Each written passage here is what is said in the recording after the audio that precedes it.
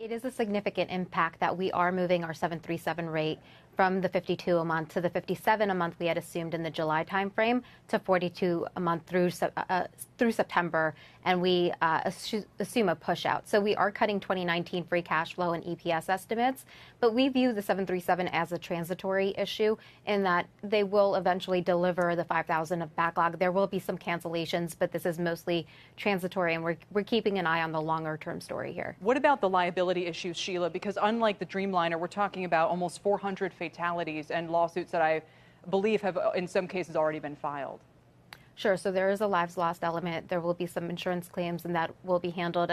Um, I think, you know, for Q2, we will assume some profit losses given you are cutting uh, volumes drastically. You're not delivering aircraft, so you'll, you won't earn on that. So we're focused on the free cash flow impact from that perspective at the moment. And Phil, we also see not just Boeing affected, but American and, and Southwest. Uh, for example, Southwest was downgraded this morning due to near-term right. earnings risk related to the grounding of the MAX fleet, which that analyst again now believes will run into the summer months. How much of a headache is this for the airlines?